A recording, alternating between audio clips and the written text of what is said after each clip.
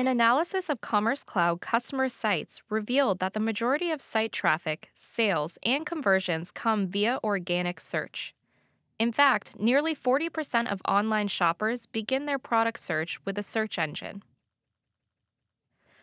Commerce Cloud's new meta tag rules allow merchants to define meta tags using a rule based approach for several page types, like product listing pages, product detail pages, content pages, search result pages, and more.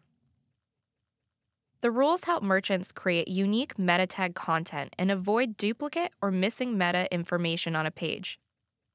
In doing this, our merchant is helping to maximize search engine rankings, improve organic traffic, and grow GMV.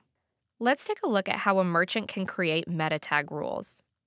Meta tag rules are managed in a new module built in the Lightning UX. In this example, our merchant is building a new rule to optimize the SEO of certain product titles. To do this, he clicks on New in the upper right hand corner and fills in his parameters. Once his parameters are set, he can create his new meta tag rule. Now that the rule is created, our merchant can assign products, content, categories, or even entire site catalogs to the rule.